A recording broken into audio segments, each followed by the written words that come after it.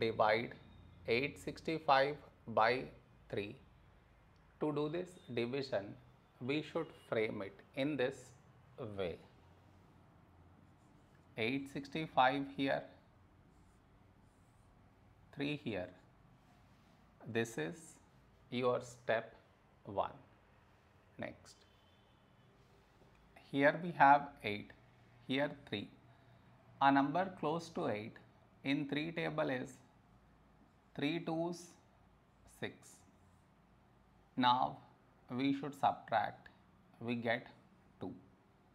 After this, bring down the beside number, so 6 down, so 26.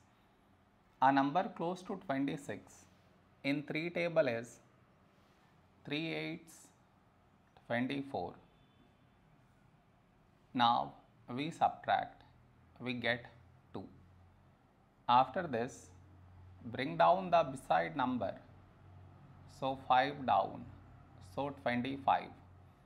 A number close to 25 in 3 table is 3 eights 24. Now we subtract, we get 1. No more numbers to bring it down. So we stop here.